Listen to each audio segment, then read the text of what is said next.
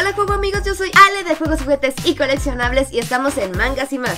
Hoy tenemos un manga muy especial, se llama Overlord de Panini Manga y el día de hoy, el día de hoy vamos a hablar sobre este maravilloso manga. Tiene muchas sorpresas chicos, así es que quédense en la reseña.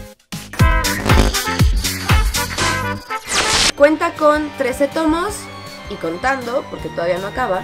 Algo que me encantó y que descubrí está como muy épico, ¿no? Y muy oscuro, que es básicamente como pretende ser este manga, ¿no? Ah, también algo que me encanta de estas ediciones es que tienen su separador. Es la parte de aquí adentro.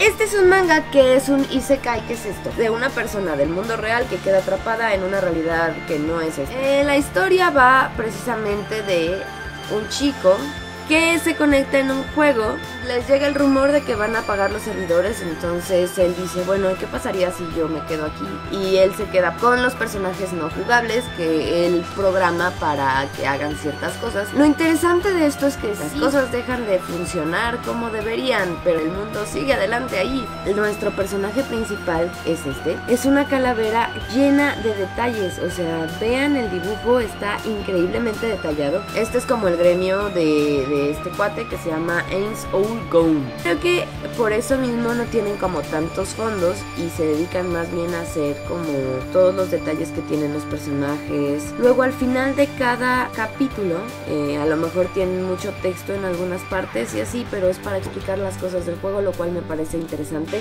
Yo lo siento como un manga de instructivo, como si fueras un gamer que fueras a jugar, pero te metes en la historia y entonces vas entendiendo mejor con estos como puntos de apoyo algo que también me gustó mucho fue que al final tiene como una pequeña historia, capítulo especial, como la novela ligera. Y creo que es una idea muy, muy buena. O sea, el hecho de como hacerlo como un videojuego. Eso a mí me gustó, me emocionó, me hizo querer jugar un juego de rol o algo así. Este manga más que nada trata de la evolución del mundo en donde están y de los personajes que lo rodean. Pues empiezan a cobrar como una cierta personalidad propia. Eso es lo, lo que yo rescataría de esta historia que me parece muy interesante. Bueno, esto es todo chicos, es Overlord tomo número uno de Panini Manga.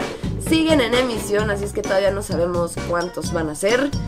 Pero ya tienen hasta el 13, entonces pues venga, a leerlos todos muchachos. Yo soy Ale de Juegos, Juguetes y Coleccionables. Estamos en Mangas y más y nos vemos a la próxima. Bye.